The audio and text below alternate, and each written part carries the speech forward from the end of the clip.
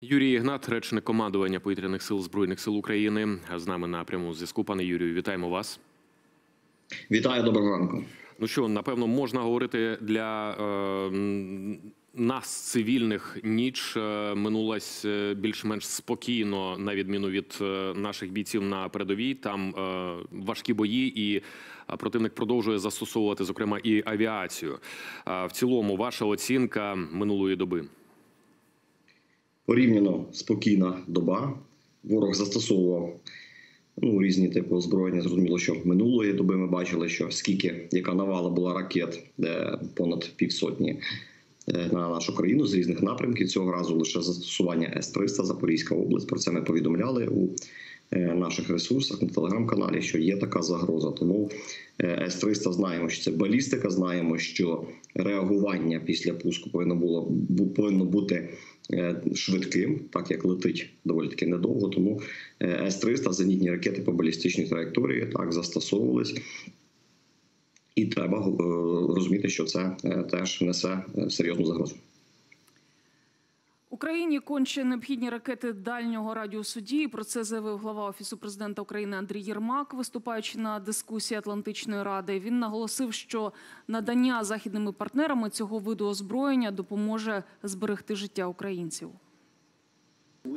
Нам вони дуже потрібні якнайшвидше. Ми чекаємо на рішення, і я маю надію, що ми дуже близькі до цього рішення. Я сподіваюся, що це станеться дуже скоро. І я можу сказати, що чим швидше це станеться, тим швидше це дасть нам можливість зберегти життя наших людей. Отже, пане Юрію, ви можете е, пояснити нам, що власне змінить е, на полі небесного бою, скажімо так, е, ракети дальнього радіусу дії? Чому вони так нам необхідні?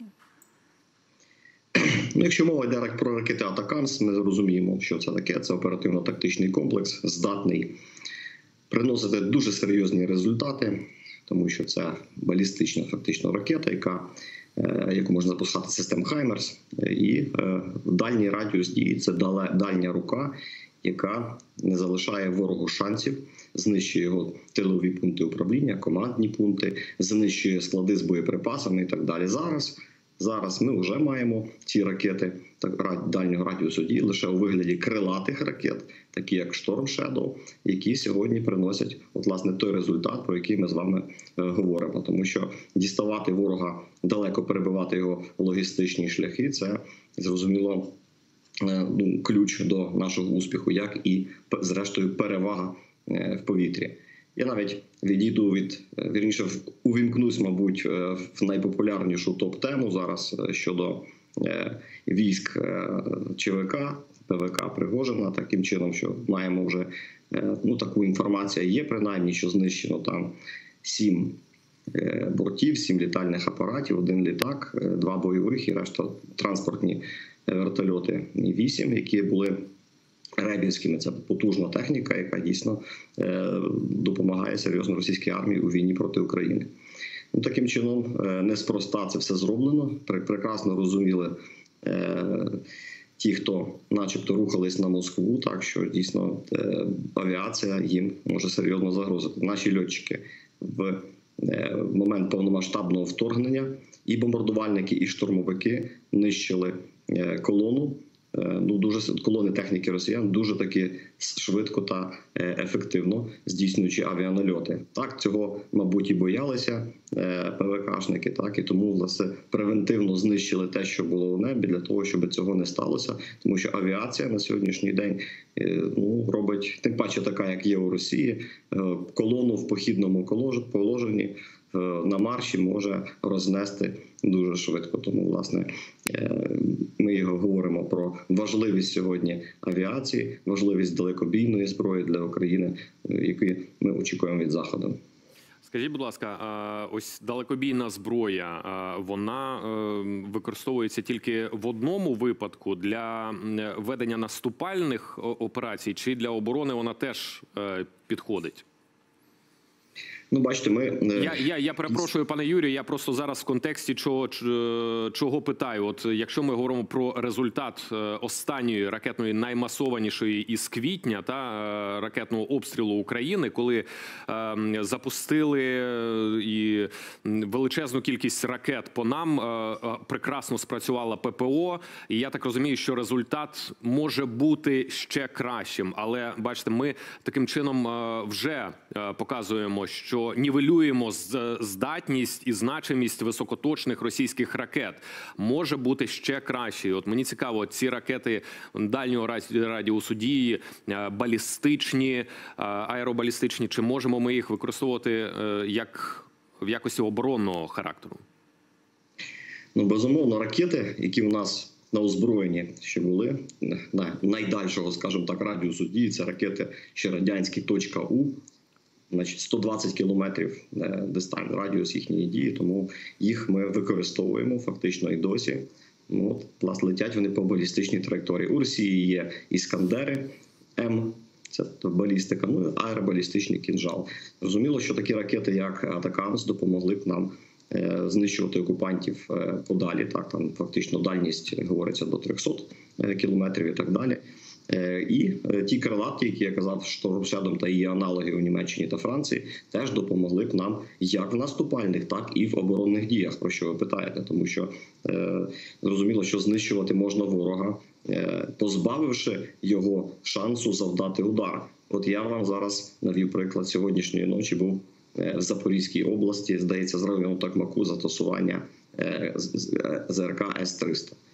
Ну, однією ракетою можна було б вирішити це питання, Е, тобто, маючи дані розвідки, завдати швидкого е, нищівного удару по комплексу, і таким чином ніякі ракети С-300 би вже нікуди не полетіли на голови наших мирних громадян. Так само можна робити і власне з крилатими ракетами. От тому це надзвичайно важливо при оборонних діях. Зрозуміло. Пане Юрію, е, я хочу ще повернутися до теми власне вагнерівців. Тут цікава була ваша е, думка, і от цікаве ваше спостереження Е, з точки зору. Розумієте, того, що збиті ці борти. Ну, ми не знаємо там точно їхню кількість, так суперечлива інформація надходить. Але знаємо, що втрати є, втрати льотчиків, втрати техніки. І при цьому всьому ми бачимо, що Пригожин уникне відповідальності за це, і вагнерівці уникнуть за це відповідальності. На вашу думку, взагалі про що це свідчить? Ну, бачите, я вже частково сказав так, що хотіли б, е, мабуть, колону якусь е, знищити. Вони б її, мабуть, знищили, тому що ну не є проблема сьогодні для авіації власне розбомбити колону. Так, те, що в них там є панцирі. е, Спостерігались так, є ПЗРК. Ну це теж для сучасної авіації не така велика проблема, і її можна ну, власне якось обійти. Так таким чином, е, розуміючи, що вони будуть з повітря можливо атаковані, як це було напередодні. От вони превентивно е, показали, що ми будемо знищувати все, що в повітрі. Ну і можливо, так була знищена та кількість техніка. Ну тут же не е, докази, не докази. Є відео е, підтвердження, що це дійсно сталося. Так таким чином, е, те, що уникне відповідальності, це вже їхні внутрішні речі, те- що е, бояться на Росії тих процесів, які вже стартували, які вже почалися. За цим стежив весь світ. Що буде далі? Буде, мабуть, далі ще цікавіше. Ну, от в контексті того, що ви говорите, давайте е, послухаємо також, е, що сказав президент. Хаос в Росії показав, що від її непередбачуваності і загроз Європу здатна захистити нині саме Україна. І підтримка її оборони це власне підтримка оборони всіх країн вільного світу. Про це у своєму зверненні заявив Володимир Зеленський. Українські воїни, українські гармати, українські танки, українські ракети це все те, що захищає Європу від таких марш-бросків, як сьогодні ми бачимо на російській території. І коли ми звертаємось по F-16 або Атакамс, ми розвиваємо наш спільний захист.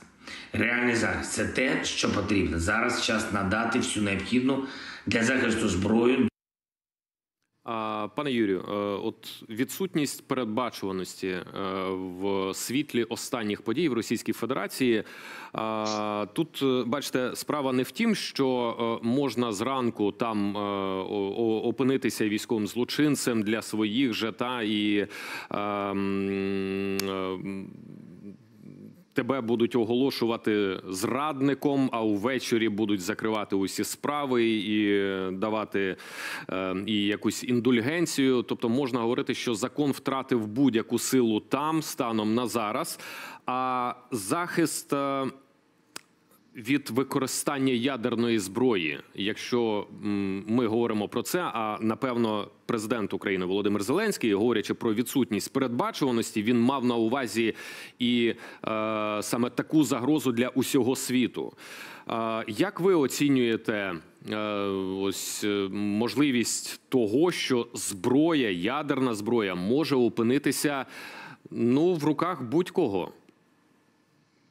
Ну, власне, цього і боїться цивілізований світ. Вчора всі країни стежили за розвитком подій. Це ну звичайно, що це топ-тема е, ну, те- століття, мабуть, так, тому що е, ну, Росія величезна країна, ядер з ядерним статусом, і е, там кадировці, е, пригожинці, і стрілковці, і хто там ще може бути на ци, е, тут е, дійсно можуть е, грати в свою гру і таким чином дуже небезпечно е, і для світу спостерігати е, за тим, як Росія буде е, ділити це все, кому що дістанеться, і от з ядерна зброя це дійсно це небезпечно. Весь світ прекрасно це розуміє. Тому було була така пересторога. Ну а щодо того, що він там герой чи не герой, там в росіян, то було очевидно, що багато росіян.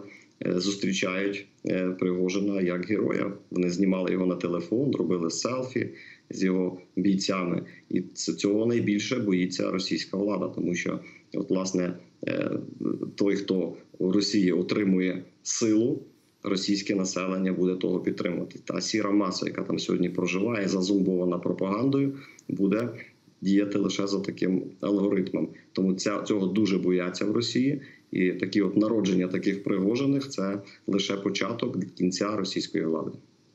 Що ж, дякуємо вам за коментарі, за те, що долучилися до нашого ефіру, за можливість поспілкуватися. Юрій Ігнат, речник командування повітряних сил збройних сил України, був з нами на зв'язку.